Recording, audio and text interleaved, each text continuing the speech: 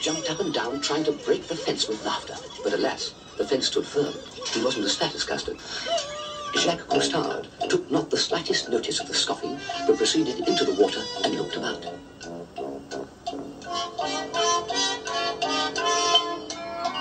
How strange. Echoed Custard. The place was teeming with fish when I looked down from up there. How very odd. Looks like a dream to me. Up on the side of the pond, Roobarb and the birds were all sitting round with In the water, and reeling with laughter, together with the fish who were wearing moonfish bowls. I do believe there are catfish in this pond, barked Roobarb, and all the fish gurgled with delight. All except Custard Catfish, who